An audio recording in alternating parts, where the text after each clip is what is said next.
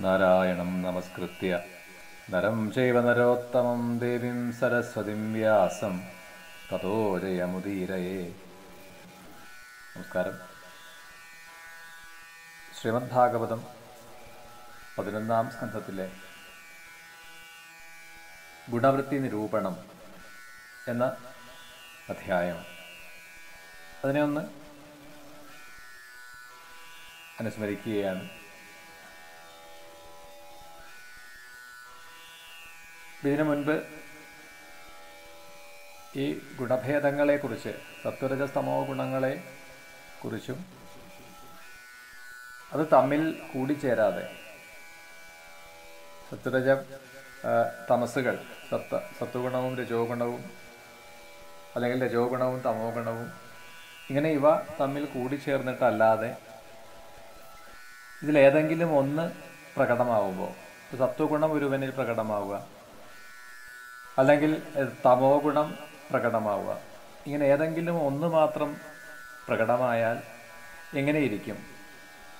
അതാണ് ഈ ഇതിൽ ആദ്യം തന്നെ പറയുക. ശമം തിദിക്ഷ വിവേകം സത്യം ദയ സന്തോഷം ശ്രദ്ധ. ഇതൊക്കെ സത്വഗുണത്തിന്റെ ലക്ഷണമാണ്. ഒരുവനിൽ സത്വഗുണം മാത്രം പ്രകാശിക്കുമ്പോൾ ഇതൊക്കെ പ്രകടമായിരിക്കും. വിഷയങ്ങളിലുള്ള ആഗ്രഹം അതൃപ്തി ഒന്നിലും ഒരു തൃപ്തിയില്ലാത്ത ഒരവസ്ഥ. ഭേദബുദ്ധി ഉണ്ടാവുക.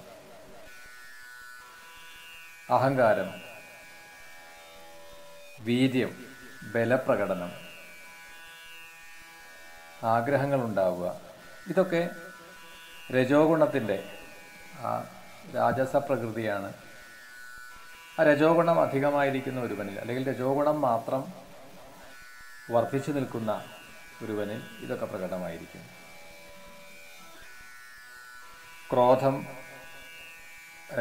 അതുപോലെ തന്നെ ഹിംസ കലഹിക്കാനുള്ള ആ ഒരു പ്രവണത മോഹം വിഷാദം ആഗ്രഹങ്ങൾ ഉണ്ടായിരിക്കുക ആശ നിദ്ര ആലസ്യം ഭയം ഇതൊക്കെ തമോ ഗുണത്തിന്റെ ലക്ഷണമാണ്.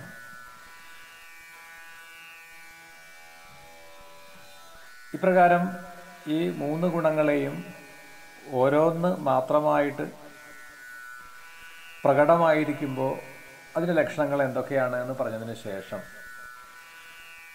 അത് കൂടിച്ചേരുമ്പോൾ കൂടിക്കലർന്നു വന്നാൽ ഉണ്ടാവുന്നത് എന്നാണ്.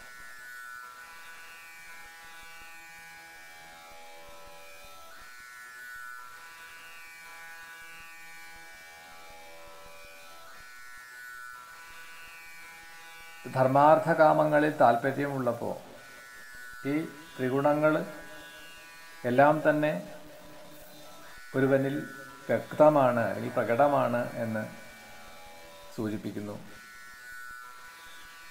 ധനാർജനം ധനം സമ്പാദിക്കുന്നതിനുണ്ടാവുന്ന ഒരുവനുണ്ടാവുന്ന ആഗ്രഹം.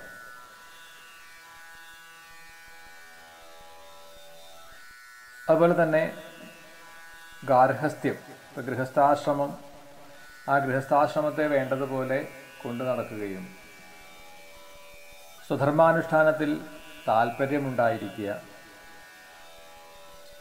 ഇതൊക്കെ തന്നെ ഈ മൂന്ന് ഗുണങ്ങളും കൂടിക്കലർന്ന് ഇരിക്കുന്ന ആ ഒരു സന്ദർഭത്തിൽ പ്രകടമാകുന്നതാണ്. ശമം തമം ഇതെല്ലാം തെളിഞ്ഞു കാണുന്ന ഒരുവനിൽ അവനെ സാത്വികൻ എന്ന് വിളിക്കുന്നു. കാമാതിവികാരങ്ങളോട് കൂടിയിട്ട് അതിനെ അങ്ങനെയുള്ള അവയെ പ്രകടമായിട്ട് ആ വികാരങ്ങളെല്ലാം കാണുന്നത് ഒരുവനിൽ അവനെ രാജസീകൻ എന്ന് അഭിസംബോധന ചെയ്തുകൊണ്ട് പറയുന്നു. ക്രോധം പോലെയുള്ള വികാരങ്ങളൊക്കെ അധികരിച്ചു നിൽക്കുന്ന അവസ്ഥയിൽ താമസം താമസിക പ്രകൃതി ഉള്ളവനെന്നും കണക്കാക്കുകയാണ്.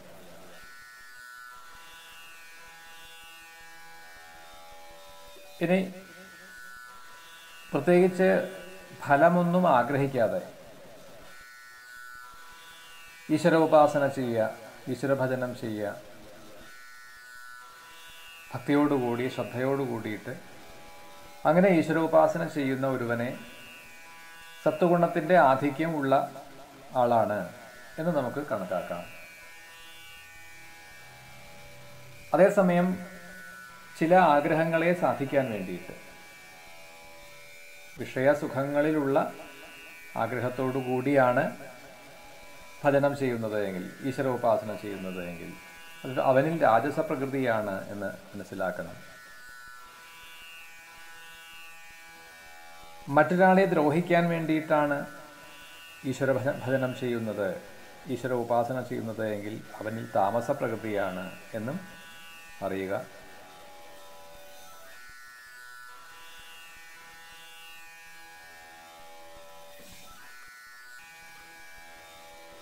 ഇപ്പോൾ ഏതെല്ലാം ഇടങ്ങളിലാണ് ഈ ഗുണഭേദം പ്രകടമായിട്ട് വരിക. ഏതെല്ലാം കാരണങ്ങളെ കൊണ്ടാണത് ഏറിയും കുറഞ്ഞും വരിക. അപ്പോൾ അതിനെയൊക്കെ സൂചിപ്പിക്കാൻ വേണ്ടിയിട്ടാണ് ഇവിടെ പറഞ്ഞു പഥ്യമായ ശുദ്ധമായ ആഹാരശീലം. ശരീരത്തിന് രോഗത്തെ ഉണ്ടാക്കാത്തത് ശരീരത്തിന് സുഖത്തെ പ്രദാനം ചെയ്യുന്ന പഥ്യമായത് ശുദ്ധമായത്. നേടി ആ ആഹാരം നേടാൻ വേണ്ടി ഉപയോ ഉപയോഗിക്കുന്ന ധനം ശുദ്ധമായിരിക്കണം. പ്രയത്നം ചെയ്യുന്ന വ്യക്തിയുടെ മനസ്സ് ശുദ്ധമായിരിക്കണം. ഇപ്പോൾ മറ്റൊരാൾ തരുന്ന ആഹാരമാണ് നാം കഴിക്കുന്നത് എങ്കിൽ അത് പാകം ചെയ്ത വ്യക്തിയുടെ മനസ്സ് ശുദ്ധമായിരിക്കണം. അപ്പോഴൊക്കെ മാത്രമേ അന്നത്തിനെ ശുദ്ധമായത് എന്ന് കൽപ്പിക്കാൻ പറ്റൂ. ആയാസം കൂടാതെ കിട്ടുന്നത് ഇനി അതല്ല എങ്കിൽ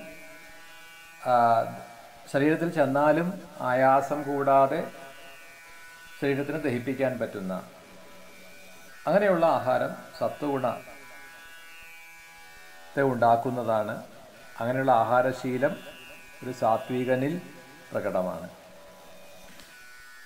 നേരെ മറിച്ച് ഇന്ദ്രിയങ്ങളെ തൃപ്തിപ്പെടുത്താൻ വേണ്ടിയിട്ടുള്ള ആഹാരശീലം അത് രാജസമാണ്. പഴകിയത് അശുദ്ധമായത് എവിടെയൊക്കെയോ പാകം ചെയ്തത്. ശരീരത്തിന് പല രോഗങ്ങളെയും ഉണ്ടാക്കുന്നത്. ഇതൊക്കെ തമോ ഗുണ പ്രധാനമാണ്. ഇനി ഓരോ തരത്തിലും ഇതിനൊരുപാട് ഭാഗവതത്തിൽ തന്നെ പല ശ്ലോകങ്ങളെ കൊണ്ട് ഇതിനെ ഇവിടെ വ്യക്തമാക്കുന്നത് കാണാം.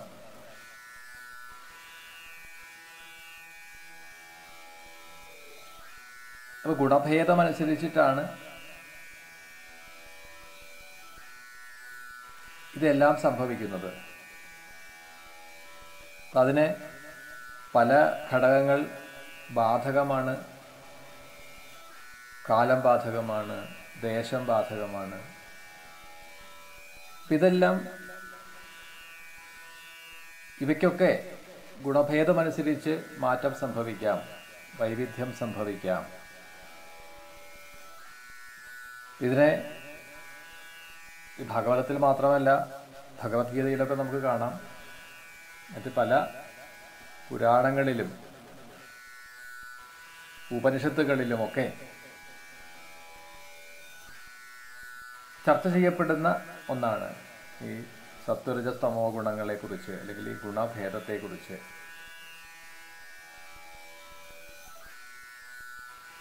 രാമായണം പോലും താത്വികമായിട്ട് അതിനെ ആ രീതിയിൽ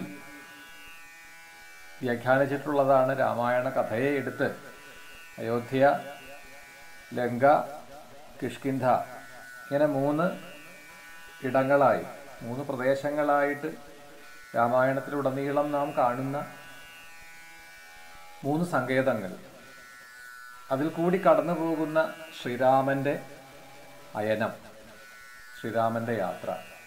ഒരു ഉപാസകന്റെ ഈ സത്വരജസ്തമോ ഗുണങ്ങളിൽ കൂടിയിട്ടുള്ള അല്ലെങ്കിൽ ഒരു ഒരു ഒരുവനിൽ ഉണ്ടാവുന്ന സത്വരജസ്തമോ ഗുണങ്ങളുടെ ആ ഒരു ഏറ്റക്കുറച്ചിലാണ് ആ ഒരു മാറ്റമാണ്.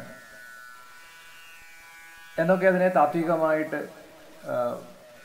വ്യാഖ്യാനിച്ച് നമുക്ക് കാണാൻ കഴിയും.